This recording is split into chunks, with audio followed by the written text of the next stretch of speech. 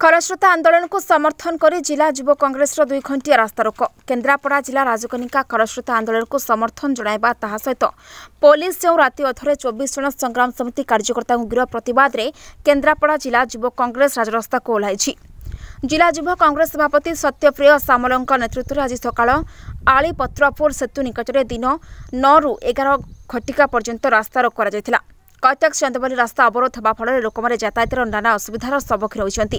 ଏଥିସହିତ କଂଗ୍ରେସ ପକ୍ଷରୁ ଆଳିର ବିଧାୟକ ପ୍ରତାପ ଦେବଙ୍କ କୁଶ ପୁତଳିକା ଦାହ କରାଯାଇଥିଲା। ଏହି କାର୍ଯ୍ୟକ୍ରମରେ କଂଗ୍ରେସର ପୂର୍ବତନ ବିଧାୟକ ଦେବେନ୍ଦ୍ର ଶର୍ମା ସତ୍ୟବ୍ରତ ପଡ଼ା ରାଜମୋହନ ସ୍ୱାଇଁ କ୍ଷୀରୋଦ ଦେହୁରିଆ ମଙ୍ଗୁଳି ବେହେରା ରବୀନ୍ଦ୍ରନାରାୟଣ ବେହେରା ବାବୁରାମ ଜେରା ନକୁଳ ପଡ଼ା ସବେଶ୍ୱର ସାମଲ ପ୍ରମୁଖଙ୍କ ସମେତ ବହୁ କଂଗ୍ରେସ କର୍ମୀ ସାମିଲ ରହିଥିଲେ।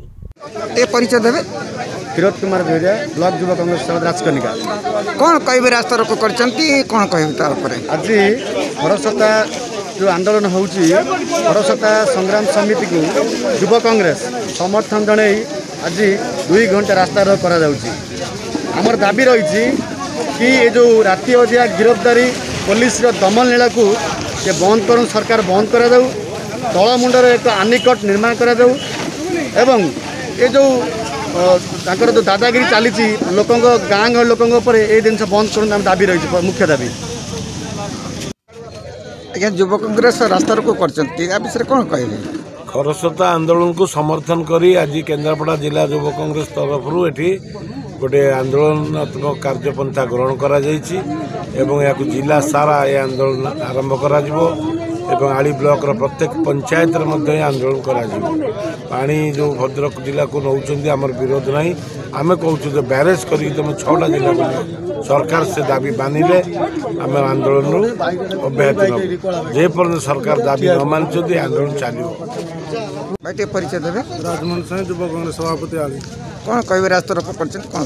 ଦେଖନ୍ତୁ ଦୀର୍ଘ ଦିନ ଧରି ଆମେ ବ୍ୟାପକ ଆନ୍ଦୋଳନ କରି ଜନସଚେତନ କରି ସରକାରଙ୍କ ଦୃଷ୍ଟି ଆକର୍ଷଣ କରିଥିଲେ ମଧ୍ୟ ସରକାର କୌଣସି କଥାକୁ ଭୂକ୍ଷେପ ନ କରି ଯେଉଁଭଳି ଭାବରେ ଭଦ୍ରକର ଗୋଟିଏ କମ୍ପାନୀକି ଖରସ୍ରୋତାର ଜଳକୁ ବିକ୍ରି କରିଦେଉଛନ୍ତି ଏବଂ ଯେଉଁମାନେ ତା ବିରୁଦ୍ଧରେ ଆନ୍ଦୋଳନ କରୁଛନ୍ତି ଆନ୍ଦୋଳନକାରୀମାନଙ୍କୁ ଯେଉଁଭଳି ଭାବରେ ଦମନ ଲୀଳା ଚଲେଇଛନ୍ତି ପୋଲିସ ରାତି ଅଧିଆ ଉଠେଇ ନେଇ ଯାଉଛନ୍ତି ବେଆଇନ ଭାବରେ ଗିରଫ କରି କୋର୍ଟ ଚାଲାଣ କରୁଛନ୍ତି ତା ବିରୁଦ୍ଧରେ ଆଜି ଏକ ସାମାନ୍ୟ ଝଲକ ଆମେ ଦେଖେଇଛୁ ପତ୍ରପୁର ପୋଲ ଉପରେ ଦୁଇ ଘଣ୍ଟିଆ ରାସ୍ତା କରିଛୁ ଏବଂ ଆମର ଦାବି ହେଉଛି ଯେଉଁମାନଙ୍କୁ ଗିରଫ କରିଛନ୍ତି ସେମାନଙ୍କୁ ତୁରନ୍ତ ମୁକ୍ତି କରନ୍ତୁ ବେଆଇନ ଗିରଫଦାରୀ ବନ୍ଦ କରନ୍ତୁ।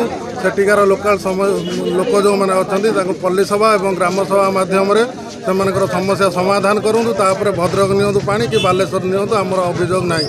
ଯଦି ଏଥିରୁ ସେମାନେ ନିବୃତ୍ତ ନ ରୁହନ୍ତି ପୋଲିସ ପ୍ରୋଟେକ୍ସନ୍ ଲଗେଇ ପୋଲିସ ଲଗେଇ ଜୋର ଜବରଦସ୍ତି ପାଣି ନିଅନ୍ତି ତାହେଲେ ଆଗାମୀ ଦିନରେ ଜୋରଦାର ଆନ୍ଦୋଳନ ହେବ। ଆଇନକୁ ହାତ ମୁଠାକୁ ନେବା ପାଇଁ ବି ଯୁବ କଂଗ୍ରେସ ପଛେଇବ।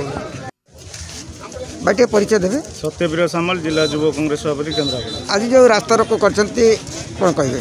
ଆପଣ ଅନୁଭବ କରୁଥିବେ ଦୀର୍ଘ ଦୁଇ ବର୍ଷ ହେଲା ଖରସ୍ରୋତା ବଞ୍ଚାଅ ସମିତି ଯେଉଁଭଳି ଭାବେ ଆମ ଖରସ୍ରୋତାର ପାଣିକି ମସୁଦା କରି ଏଠିକାର ଯେ ବିଧାୟକ ଅଛନ୍ତି ସ୍ଥାନୀୟ ବିଧାୟକ ପ୍ରତାପ ଦେବ ଯେଉଁଭଳି ଭାବେ ଭଦ୍ରକ ଜିଲ୍ଲାକୁ ଦେବାକୁ ଯେଉଁଭଳି ଭାବେ ପ୍ରୋଗ୍ରାମ କରିଛନ୍ତି ତା ପ୍ର- ପ୍ରତିବାଦରେ ଏ ଆନ୍ଦୋଳନ ନେଇଛି ଏବଂ ଏ ଆନ୍ଦୋଳନ ଆଗରୁ ବହୁବାର ହେଇଛି ଶାନ୍ତିପୂର୍ଣ୍ଣ ଉପରେ ହେଇଛି। ପୋଲିସ ଯେଉଁଭଳି ଭାବେ ବେଆଇନ ଗିରଫଦାରୀ କରୁଛି ଏବଂ ରାତି ଅଧିଆ ଘରେ ଯାଇ ଚଢ଼ଉ କରୁଛି ଏବଂ ସାଧାରଣ ଜନତାଙ୍କୁ ଯେଉଁ ଆରେଷ୍ଟ କରିଛି ତାଙ୍କୁ ଆମେ ଚାହୁଁଛୁ ତାଙ୍କୁ ନିଃସର୍ତ୍ଥରେ ଛଡ଼ାଯାଉ ଏବଂ ବେଆଇନ ଯେଉଁ ଗିରଫଦାରୀ ହେଉଛି ତାକୁ ବନ୍ଦ କରାଯାଉ ଖରସ୍ରୋତାର ତଳମୁଣ୍ଡରେ ଏକ ବ୍ୟାରେଜ୍ ପ୍ରସ୍ତୁତ କରାଯାଉ।